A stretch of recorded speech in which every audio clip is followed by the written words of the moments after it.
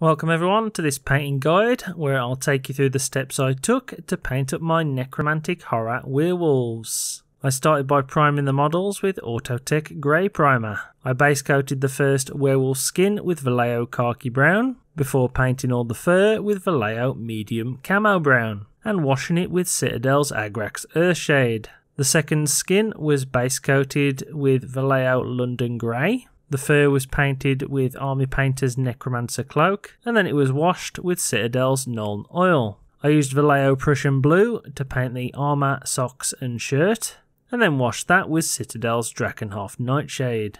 I then painted all the straps and ropes with Army Painter's Leather Brown the teeth and claws with Army Painter Banshee Brown before washing them with Citadel's Agrax Earthshade. It's now time to layer everything up, leaving the shade in the recesses. Firstly using Prussian Blue on all the armour, Khaki Brown on the brown skinned wolf, London Grey on the grey wolf, Leather Brown on the ropes and straps, and lastly using Army Painter's matte black to paint the bases and drawing black lines down the shirt to give me the famous Inter Milan stripes. Once done anyway, they looked like this.